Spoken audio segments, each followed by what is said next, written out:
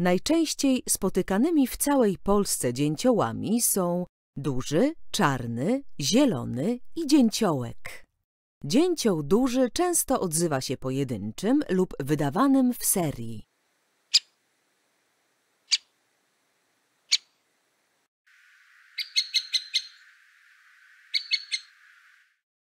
Używa też innych głosów, na przykład broniąc terytorium długiej, jazgotliwej serii okrzyków.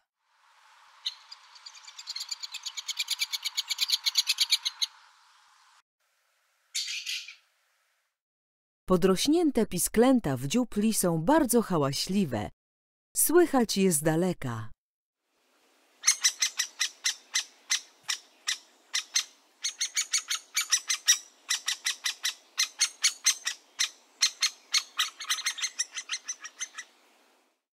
Werbel to informacja, że to terytorium jest zajęte. Bębnią ptaki obu płci.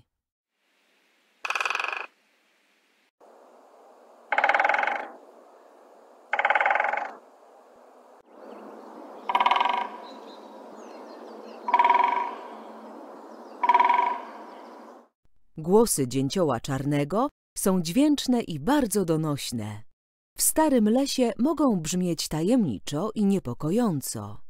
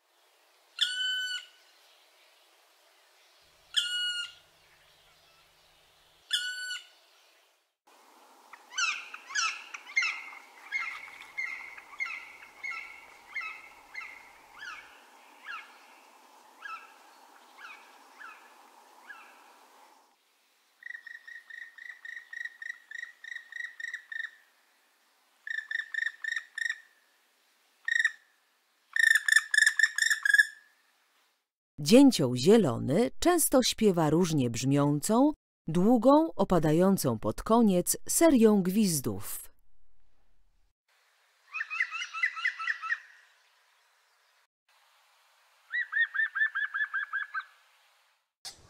Używa też tej samej sylaby łączonej na różne sposoby i wydawanej z różną energią.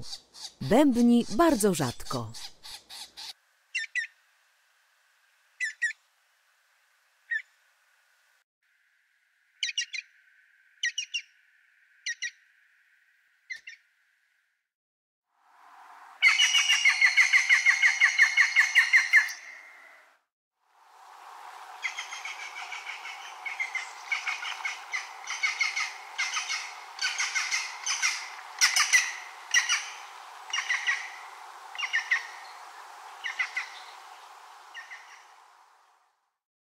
Dzięciołek odzywa się nieczęsto i cicho, łatwiej usłyszeć bębnienie niż głosy.